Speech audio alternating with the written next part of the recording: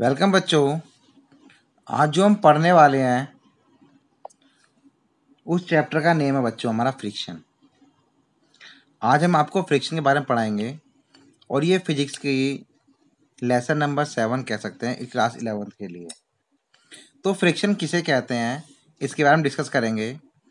और फ्रिक्शन क्या है, क्यों यूज़ होता है, कितने टाइप के होते हैं, इन सब का, के बारे में आज हम डिस्कस करने वाले हैं। तो let start. What is friction देखिए फ्रिक्शन एक होता है फ्रैक्शन उसे हम मैथ में यूज़ करते हैं। अगर उसकी तरह ही इसको देखा जाए तो फ्रैक्शन किन चीज़ों में बनता है आपका? दो चीज़ों में। फ्रिक्शन होने के लिए न्यूमिनेटर और डिनोमिनेटर दोनों का होना ज़रूरी है। और ऐसे ही फ्रिक्शन के लिए भी दो सरफेसों का होना बहुत ज़रूरी है as like a fraction fraction बनने के लिए कितनी चीज़ों का होना चाहिए? दो चीज़ों का, किसी इसका न्यूमरेटर का और डिनोमिनेटर का। ऐसे ही फ्रैक्शन भी दो सरफेसों के द्वारा ही अप्लाई होता है। ये सिंगल सरफेस होगी उस पर कोई फ्रिक्शन नहीं होगा। तो फ्रिक्शन करता क्या है? एक रेसिस्टेंस पैदा करता है किसको?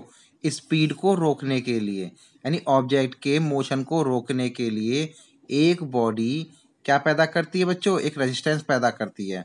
वो वही वही जो रेजिस्टेंस है वही क्या कहलाता है बेटा आपका? फ्रिक्शन कहलाता है। और जितने फोर्स से वो ऑब्जेक्ट को रोकेगी, वही फोर्स होगा बच्चों आपका फ्रिक्शन फोर्स क्योंकि देखिए, जो मैं आपको लैंग्वेज बता रहा हूँ, वो बुक की लैंग्वेज से हट के है। अगर आप बुक की लैंग्वेज समझनी है तो यहाँ समझिए।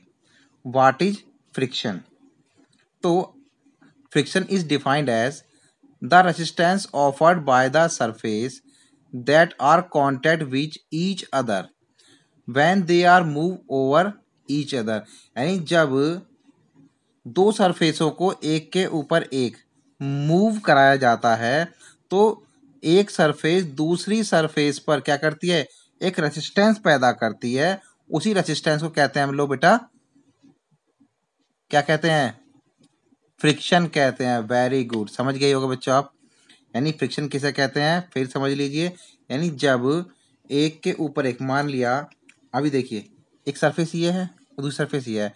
जब इन दोनों को ऊपर नीचे रखकर, इन दोनों ऊपर नीचे रखकर, क्या है? स्लाइड मूव कराया जा रहा है। देखो, किस तरह मूव करा रहे हैं? ऐसे मूव करा रहे हैं। तो सेकंड सरफेस फ़र्स्ट सरफेस के क्या कर रही है? रोक रही है। अगर रोकती नहीं तो इजीली क्या होता है? स्मूथ रफट जाता है बेटा आपका। ये रोक रही है। यानी क्या कर रही है? एक रेजिस्टेंस रुकावट पैदा कर रही है। वही रुकावट क्या बच्चों आपका फ्रिक्शन कहलाती है। That's okay okay.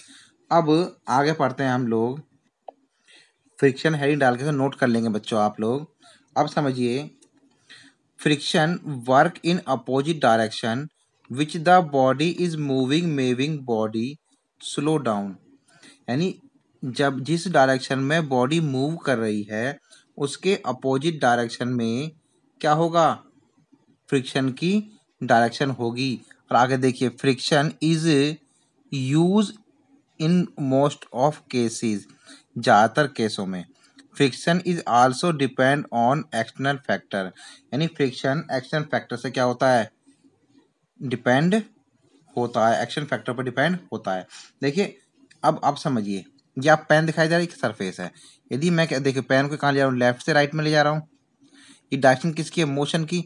अब जो नीचे वाली सरफेस है, नीचे वाली सरफेस इस पेन पर जो फो डायरेक्शन लगा रही होगी, उसकी डायरेक्शन कहाँ से होगी?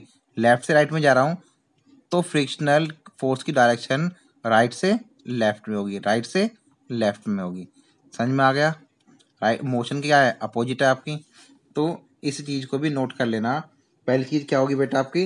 The resistance offered by the surface that in contact with each other when they move each over वो तो क्या हो गया बच्चों आपका? फ्रिक्शन हो गया। और फ्रिक्शन की डायरेक्शन होती है मोशन के अपोजिट होती है और फ्रिक्शन कई एक्शन फैक्टरों पर डिपेंड करता है। यानी फ्रिक्शन को हम लोग कम भी कर सकते हैं और बढ़ा भी सकते हैं। इसका मतलब ये है। कम कैसे करते हैं? यदि किसी सरफेस पर लुब्रिकेंट डाल दें तो उनके बीच क्या होगा बेटा आपका? फ्रिक्शन कम हो जाएगा। ठीक है?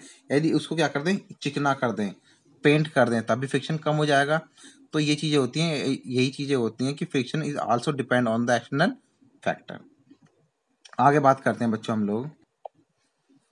Factors affecting friction factors affecting frictions यानी किन किन फैक्टर पर फ्रिक्शन डिपेंड करता है, या या फिर कौन कौन से चीज़ें फ्रिक्शन को अफेक्ट करती हैं। तो याद रखिएगा following are two factors on which friction depend इन दो चीज़ों पर फ्रिक्शन डिपेंड करता है। पहली चीज़ on the nature of two surfaces that are in contact that are in contact यानी फ्रिक्शन केवल आपको हेडिंग नोट कर लेना है। ठीक है? पहला जो आपका है on the nature of the two surfaces that are in contact friction उन दो सरफेसों पर डिपेंड करता है, जो सरफेस आपकी कांटेक्ट में आ रही हैं। यदि वन सरफेस क्या होगी स्मूथ दूसरी सरफेस रफ होगी तो फ्रिक्शन वहाँ पर कुछ और होगा। दोनों सरफेस होंगी तो फ्रिक्शन मैक्सिमम होगा। और दोनों सरफेस क्या होगी स्मूथ होंगी तो फ्रिक्शन क्या हो जाएगा बेटा आपका? खत्म हो जाएगा लगभग। लिखा है friction is depend on the smoothness और roughness of two surfaces they are in contact with each other friction smoothness और रफनेस पर डिपेंड करता है। जो सरफेस क्या कॉन्टेक्ट में आ रही हैं। When the surface is smooth यदि सरफेस क्या स्मूथ है the friction between two reduce यदि दोनों सरफेस क्या है हमारी स्मूथ है तो वहाँ पर फ्रिक्शन क्या होगा? रिड्यूस हो जाएगा। There is no making interlocking irregular taking place the surface is rough और इंक्रीजेज यदि दोनों सरफेस को रफ कर दिया जाए तो फ्रिक्शन क्या होगा हमारा? बढ़ जाएगा। अब दूसरी जो फैक्टर है बेटा, आपको इस पर डिपेंड करता है हमारा फ्रिक्शन वो है on the force that acting on this surfaces यानी कितना हम एक्सटर्नल फोर्स उस पर लगा रहे हैं, ठीक है? यही ज़्यादा फोर्स लगाएँगे तो फ्रिक्शन क्या होता है कम हो चला जाएगा आपका, ठीक? कम फोर्स होगा तो फ्रिक्शन को ज़्यादा ज़्यादा फील होगा, लिखा है when force applied along with irregularity friction is increases यदि इरेगुलर फोर्स हम इस पर लगाएँगे बॉडी पर मोशन मोशन की डायरेक्शन में इरेगुलर फोर्स लगाएँगे तो उस कंडीशन में फ्रिक्शन फोर्स क्या होगा? इंक्रीज हो जाएगा। यदि यूनिफॉर्म फोर्स लगा रहे हो आप तो फ्रिक्शन क्या हो चला, कम हो चला जाएगा आपका। यही इसमें समझाने वाली चीज़ थी। आज के लिए हम इतना ही रखेंगे। कल को हम करेंगे फ्रिक्शनल के टाइप पढ़ेंगे। ठीक है? किस किस टाइप फ्रिक्शन होता है। थैंक्स फॉर वॉचिंग वीडियो अच्छा लगा हो बच्चों आपको तो आप लाइक कर सकते हैं। ठीक है? Thanks for watching video